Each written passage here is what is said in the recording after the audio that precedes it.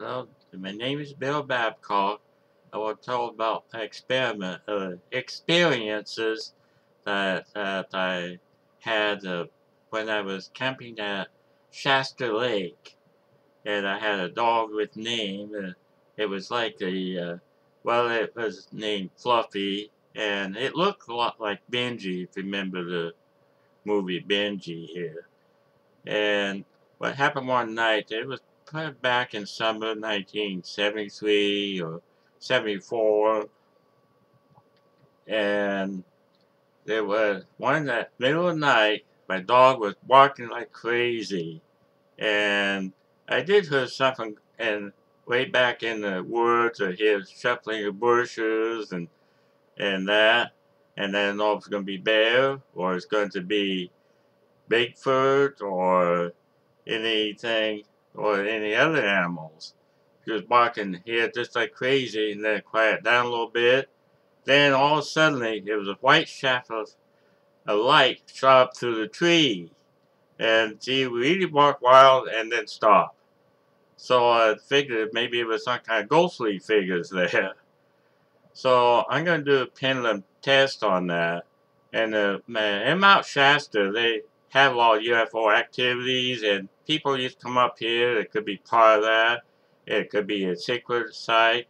It didn't sense anything it was evil, so so therefore, uh, it probably was, you know, just maybe some old spirit from either Secret Sound or UFO activity or space people. So it could be anything like that. So I'm going to do the pendulum test.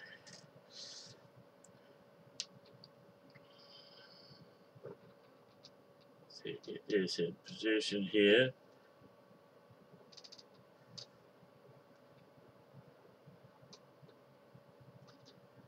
It is in position. Okay, give me yes.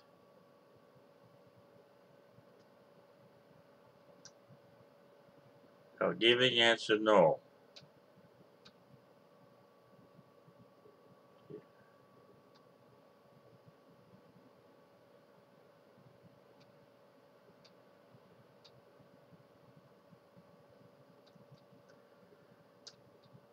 Okay, uh, uh, now I got first question.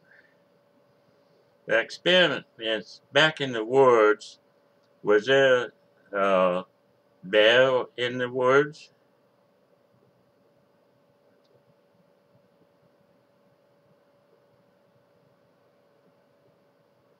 Okay. Was it okay? Was it a Bigfoot back in there?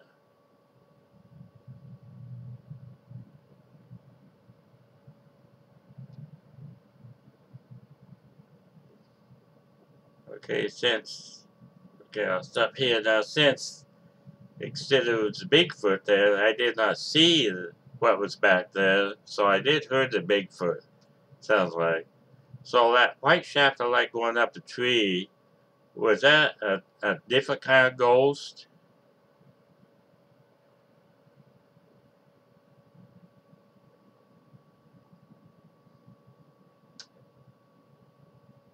Was it the Bigfoot just goes into a different dimension?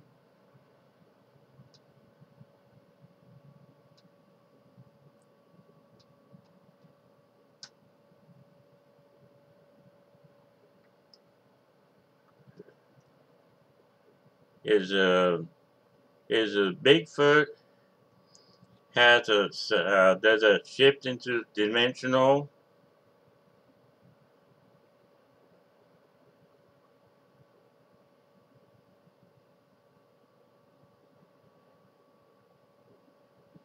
Do Bigfoot ever shapeshift?